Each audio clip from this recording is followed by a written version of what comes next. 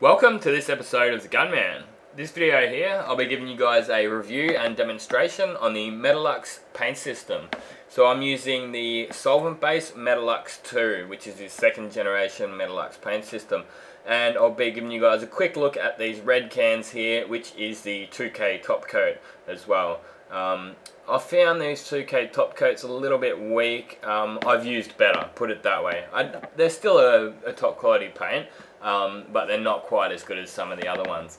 Um, and down the bottom here, you've got your high flow um, colors, so the whites, blacks, silvers and stuff like that, the ones that you go through a lot. And these ones in the small cans are the Xirallic Pearls. Um, the expensive ones, they can range from anywhere from 100 to $200. Um, and this is our clear coats here. I'm going to be giving you guys a look at this clear coat as well. It's 9354 is the uh, product code, VOC 420HS, and that's just another uh, anti-static wipe I thought I'd give you guys a look at. So, up to our computer, we'll open our program here. Um, this computer is a little bit slow, it takes a little bit, so I've cut a bit of footage out there for you guys. Obviously, you've got your scales, and I'm just going to type in just a common code. F143 is uh, Sting Red. So I'll type this color and I'm not going to actually mix it up for you guys, but um, I'll just show you how to do a search and the color tools that we have available. Um, we also have a, um, a color uh, board as well. It's got these color chips as well. So we'll type our paint code in there. You can input the manufacturer, the year, and all this other different information you like as you like. Um, there's loads of stuff that you can do on this system. You can create custom colors, you can mix up your clears and your primers through the scales as well. So just everything that you've come to know with your um, most of your uh, paint system. So you've all, you, when you type that color in, it's a solid color. So it's come up with the base coat variants, two variants, and also come up with two variants for the 2K. So what we can do here, we can click on one of each.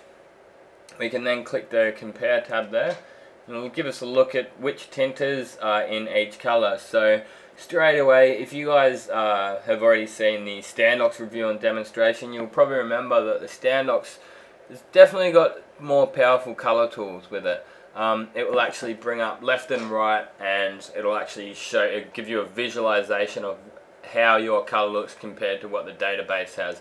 Uh, they do have a spectrophotometer available through the Metalux range however it's nowhere near as good as the Standox one. All this one does is picks the variant, it won't actually shade it, add and uh, subtract any uh, tinters as it sees fit.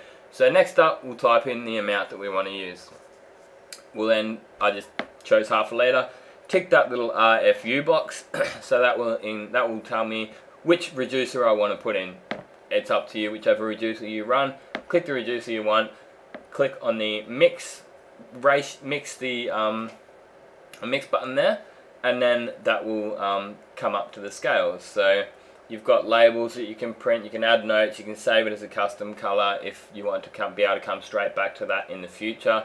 And then we go and mix it up. so this will link up with the scales and you'll be able to mix it straight off the computer screen if you wish to do it that way. You could also do it straight off the scales. So as you can see there, I'll go back down to my scales and as I put, put weight onto those scales there, that will move on the computer as well.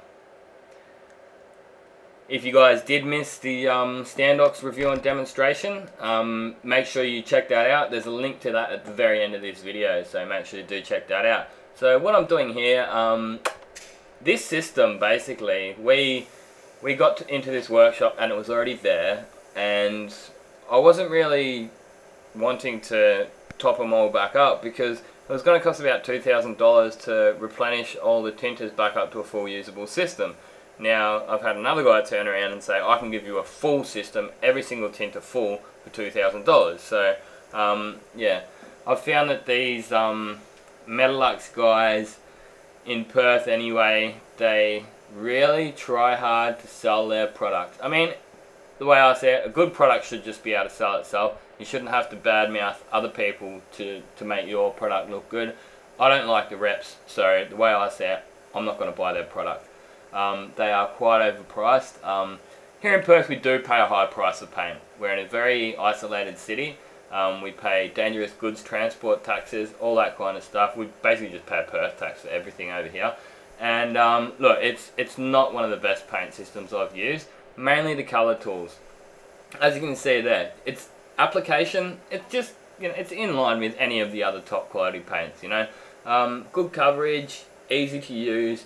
They've got good quality primers, good quality clear coats. Um, and look, I find a paint system is one of those things that you really need to use every day, a couple of times a day for sort of three or maybe two or three weeks or something like that until you really get the hang of that system. Um, so I haven't spent that time with this system to get good at it. So um, I do apologise if there's uh, you know some Metalux users they, they might swear by it. Um, but yeah, in my experience, I have used better systems. Um, and it's not as cheap as what you might think. To me, it's like they're stuck in between. It's like they used to be cheap, but they're trying to push their name up, but they're not. They're not quite up there with the uh, some of the what more better known German brands like Standox, Spies Hecker, Glasurit, all those kind of um, more top quality paints. Uh, from what I know, I'm pretty sure it's a South African owned company originally.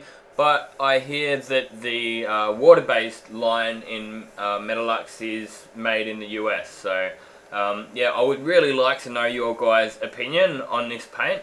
Um, and yeah, I mean, get out there, give it a shot. If you're looking into getting a system, do your pricing, go to your local, um, you know, auto shops. Uh, you know, get some samples out there, see what you think of it. But for me, if it was a high flow workshop, I'd probably stick away from it and go with uh, something more like Glasurit or Standox or something like that. They're just uh, two of the big paint systems that I've used and I really highly recommend them mainly for their color matching because when you've got uh, your technicians spending hours and hours color matching these colors, um, that's lost that's money that you're losing every minute that it takes you to color match. You could be in the booth painting that next job and have your technician uh, having the next job prepped up.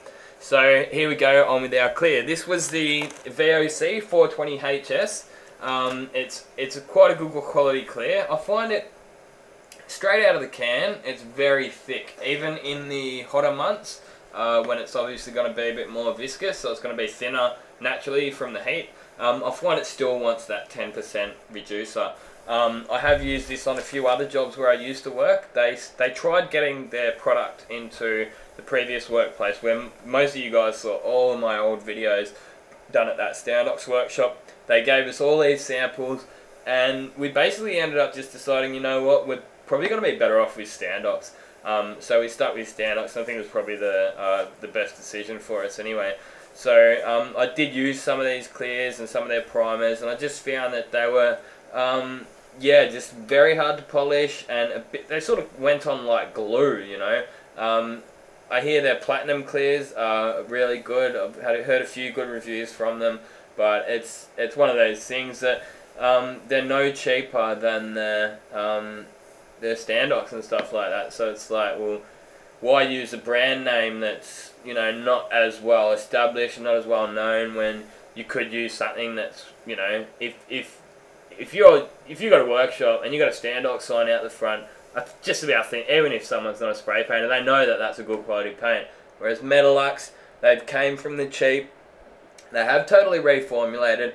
They, their prices have definitely gone up, so they're trying to bring up a new image and um, I just don't think that they're quite to the uh, standards that some of the other ones are. Okay, so this car that you're seeing me painting those bumper bars off, it's a HJ Monaro.